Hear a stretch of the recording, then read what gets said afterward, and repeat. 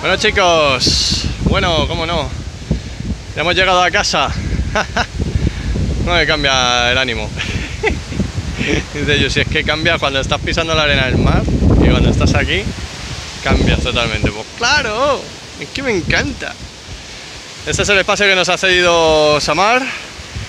Él nos cede la hamaca, pero bueno, ya le hemos dicho que tenemos nuestras propias hamacas. Hemos cogido este hueco porque entre estas dos ramas y entre estas dos ramas eh, podemos montar perfectamente para dormir aquí. ¿Qué os parece?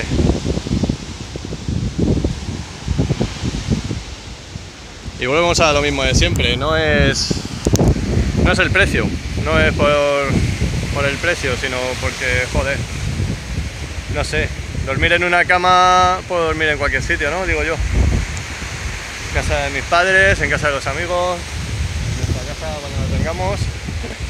Y dormir aquí en sitios así es ahora y ya está.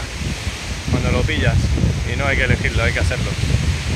Y ya está, bueno, a Samar y el bar y todo eso lo presentaremos porque, por supuesto, por, esta, este gran regalo eh, le hacemos con su misión y demás. Eh, vamos a comer aquí, a cenar bueno, en diferentes sitios, pero por supuesto a él le vamos a hacer un, gasto. Esto se lo hemos dicho, se lo pagamos como si nos alquilara el diván ese que tiene ahí.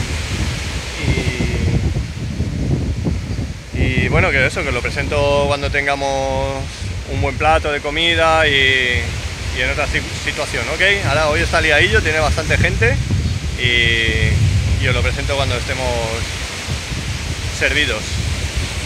Tengo la CPU sobrecalentada hoy, colega. Desde que me habéis visto en el mercado hasta que he llegado aquí, me ha estado una solana y el otro día llevaba mi turbante de... Ya no me sale ni el nombre. Lawrence de Arabia. y hoy no me lo he puesto y casi muero, casi muero en el camino.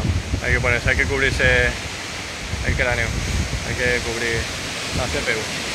Está el mar hoy un poquito revuelto, pero bueno, ya estamos aquí, en cuanto calme nos metemos a pegar un baño.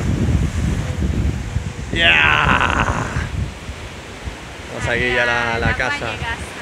La bolsita de cerveza. Ya hemos ya ocupado el árbol con nuestras cosas. chao, chao, bambina.